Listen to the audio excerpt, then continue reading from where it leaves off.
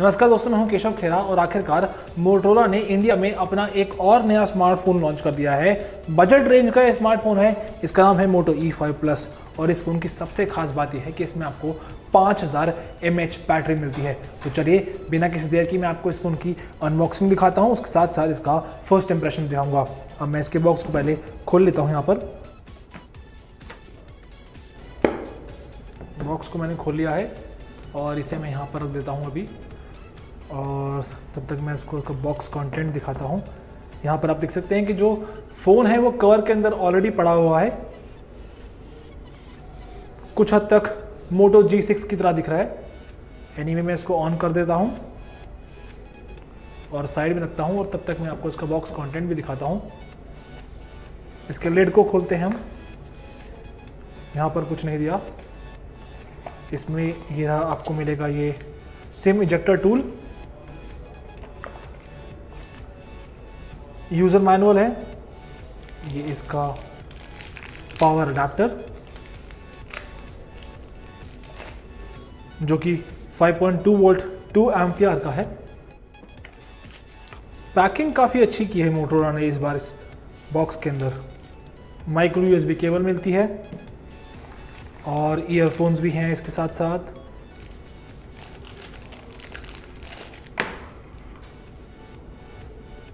फ़िलहाल अभी हम ईयरफोन की क्वालिटी को जज नहीं कर सकते, लेकिन यहाँ पर आप देख सकते हैं कि बेसिक ईयरफोन्स हैं। अच्छी बात यह है कि ईयरफोन्स मिल रहे हैं बिकॉज़ बहुत सी कंपनी आपको ईयरफोन्स देती नहीं है। तो देख सकते हैं कि जब आप स्मार्टफ़ोन को खरीदेंगे, ये सारी एसेसरी आपको इस बॉक्स के साथ मिलेगी। अब इस फ़ोन के फ़र्स्ट इंप्रेशन की शुरुआत इसके डिज़ाइन से करते हैं। तो सबसे पहले इसका बैक पैनल देख लेते हैं। कंपनी ने इसमें फाइबर ग्लास का इस्तेमाल किया है। इस वजह से इसकी लुक्स काफ़ी एनहांस हो जाती है। और यहाँ पर आप देख सकते हैं कि जो साइड्स हैं वो कर्व्ड हैं। इसलिए इसमें आपको एक अच्छी ग्रिप भी मिलेगी। इसके अलावा यहाँ पर मोटरोला का लोगो दिया है और यही फिंगरप्रिंट सेंसर है। और हमेशा की तरह इसमें आपको ये राउंड शेप में कैमरा मिलेगा यहाँ पर। वहीं राइट साइड पे आप देखेंगे तो आपको पावर बटन और वॉल्यूम लॉकर की मिलेगी, जबकि लेफ़्ट साइड पे सिम ट्रे दिया है। और अब मैं आपको सिम ट्रे को खोल के दिखाता हूँ कि इसमें कैसा स्लॉट है। तो एक बार हम इसकी सिम ट्रे को खोल लेते हैं। तो आप देख सकते हैं कि डेडिकेट मेमोरी कार्ड स्लॉट का इस्तेमाल किया है कंपनी ने। काफ़ी अच्छी बात है।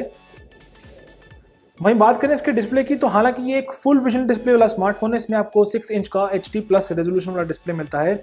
लेकिन फिर भी बेजल काफ़ी बड़े हैं और अगर कंपनी इसको छोटा कर देती बेजल को तो शायद थोड़ा फ़ोन कॉम्पैक्ट साइज़ का हो जाता पर अभी फ़िलहाल ये बड़ा है और शायद एक हाथ से इसको यूज़ करने में आपको परेशानी हो सकती है। इसके अलावा इसके हम इंटरनल स्पेसिफिकेशंस की बात करें तो कंपनी ने इसमें दिया है स्नैपड्रैगन का 430 चिपसेट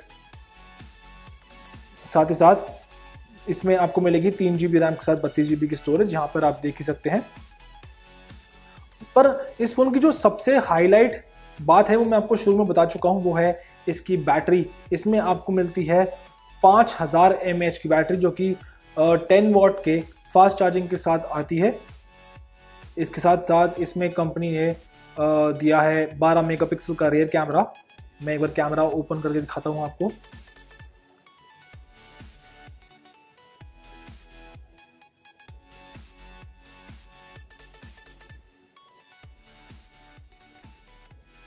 शटर स्पीड काफ़ी फास्ट है।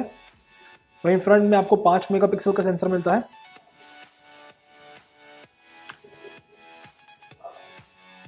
एलईडी फ्लैश फ्लैशलाइट भी दी गई है। एक बार हम रेयर कैमरा में दोबारा जाते हैं।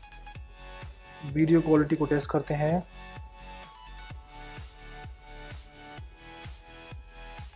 और देखते हैं कि वीडियो क्वालिटी का क्या साइज़ है। तो आप इसमें फुल एचडी वीडियो रिकॉर्ड कर सकते हैं 30 एफपीएस पर। साथ साथ ये फ़ोन एंड्रॉयड ओरियो पर चलता है, जो कि नियर स्टॉक है। और इसमें भी आपको मोटो के फीचर्स मिल जाते हैं। एक बार दिखा देता हूँ आपको। मोटो एक्शंस और मोटो डिस्प्ले तो ओवरऑल अगर आप देखेंगे तो प्रोसेसर थोड़ा सा कमज़ोर है इस प्राइस रेंज में पर अदरवाइज़ इस फ़ोन के स्पेसिफिकेशन आपको पसंद आएँगे।